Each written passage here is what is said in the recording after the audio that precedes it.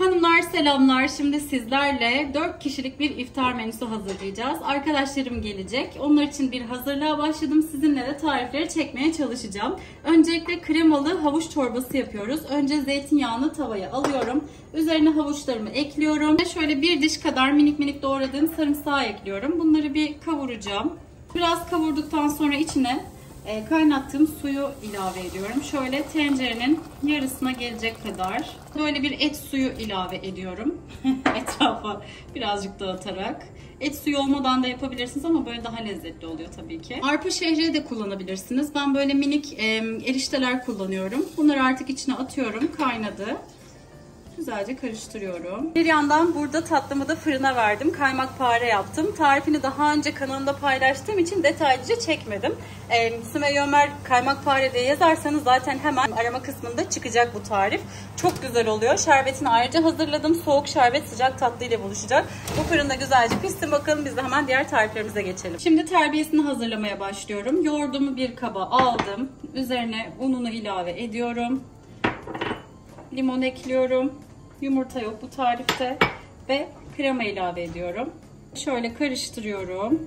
İçinde artık eriştelerin piştiğini anladığımızda şöyle alıyoruz çorba harcımız çorbamızdan. Bunun içerisine ekliyoruz ki çorbamız kesilmesin diye. Şöyle biraz karıştırıyorum. Birkaç kepçe ekleyeceğim. Ee, yoksa yoğurt mutlaka kesiliyor. Tuzunu da ilave etmedik farkındaysanız. Hiçbir baharat eklemedik. Çünkü tuz eklediğiniz zaman da bunun kesilme ihtimali çok artıyor. Sonra biraz daha biraz daha bu şekilde meyanesini hazırlıyorum. Ve bu karışımı karıştıra karıştıra çorbamızın içine ekliyoruz.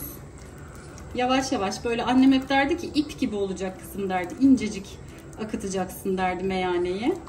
Evet şimdi çorbamız kaynayınca e, üzerine tereyağı eritip dökeceğiz. Şu an bile çok güzel görünüyor ama birazcık kaynayıp kıvam almasını bekleyeceğiz sadece. Taşım kaynadığında üzerine artık yağını ekliyorum. Şöyle bir karıştırıyorum. O kadar güzel bir çorba ki bu. Tuzunu da şimdi ilave edeceğim ve bu artık hazır. Şimdi masamı hazırlamaya başladım. Keten bir Amerikan servis kullanıyorum. Beyazda yine beyaz nakışlı. Çok fazla desene girmedim Amerikan serviste. Sonra bu e, inci detaylı, kenarı incili suplalarımdan kullanıyorum. Cam suplalar. Her e, takıma çok yakışıyor düz sade olduğu için. Sonra bu Rus porselini Imperia seriden şöyle tabaklarını kullanıyorum. Bunun aynı zamanda e, orta servislerini hepsini kullandım. Çok sevdiğim bir takım. E, sonra çatal bıçak olarak yine e, gümüşe gold detaylı. Çünkü tabakta da bu gold detaylar var. Şöyle o yüzden çok yakışıyor bu takıma, bu e, çatal bıçak takımı. Bunları kullanıyorum. Sonra e, hurmalar için şöyle kenara aslında çay tabağı fakat hurma için çok güzel oluyor. Böyle kenara bunu koyuyorum ve yine Paşa Bahçe'nin çok sevdiğim bardaklarından biri olan e, bu bardakları ikili olarak bu şekilde kullanıyorum. Masam böyle hazır. Orta servislerim, e, bunun dışında diğer e, vazosu vesaire bunların hepsinin içlerini şimdi dolduracağız birlikte. Ve şimdi burada ana yemeğime başladım. Mantarlı, ıspanaklı tavuk kapama yapacağım. Çok farklı bir tarif. Güzelce videosunu da çekeceğim. Instagram'da paylaşacağım bunu. Harcımı hazırlıyorum. Böyle ayrı bir ıspanak harcı ve ayrıca mantar harcı hazırlıyorum. Bunları şimdi tavuğun içinde dolduracağız. Bunlar da çok güzel olacak. Ve bu şekilde pişireceğimiz e, bir tencerenin içine ters çeviriyoruz. Evet.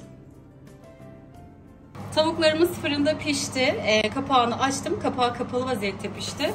Şimdi üzerine hemen e, kaşarını serpiyorum ve yeniden fırına vereceğim. O kadar güzel kokuyor ki şu an inanamazsınız kokusuna. Burada kaymak pare de hazır. Bunun şerbetini döktüm. Üzerine fıstık serpip bunu da hemen servis yapacağım. Ve masam hazır. Her şey hazır. Çorbam içeride ısınıyor. İftara çok az dakikalar kaldı.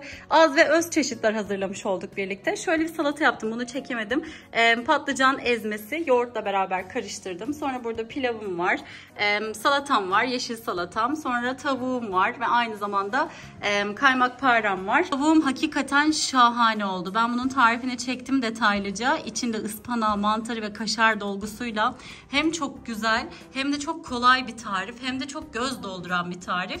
E, bunu denemenizi tavsiye ediyorum. Ama burada tarifi tam olarak yok. Instagram'da izleyebilirsiniz. Tarifleri açıklamaya detaylıca yazıyorum. Bize hayırlı iftarlar. Deneyecek olan size de e, şimdiden afiyet şifa olsun inşallah.